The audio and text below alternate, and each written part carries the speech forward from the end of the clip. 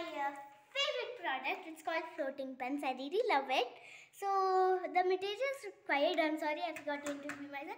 My name is Sri Gauri, and you can see we have a few audiences here with you along.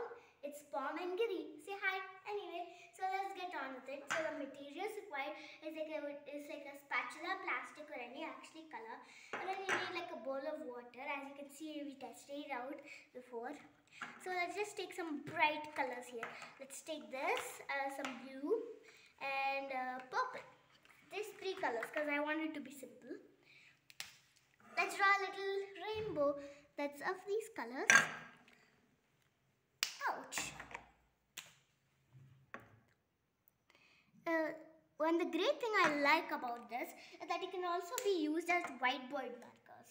Because they're uh, like uh, dry erase markers which is uh, just whiteboard markers. So you can see we have our image here.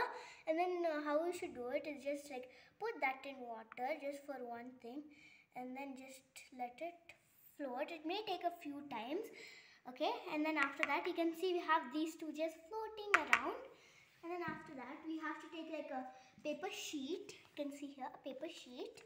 And then eh, let's say I'll just put this one right here right for now. And then you have to put it really on quick on your skin. Like it's like a tattoo. I really love this future. It may take a few times but uh, I really love this we got it. You have to be a little careful because it's kind of fragile. And then if you let it dry out it'll just stay there for a while until you just like put in soap and just wash your hands. But uh, if you really don't like it you, while it's wet you can just erase it. So that's all. So bye guys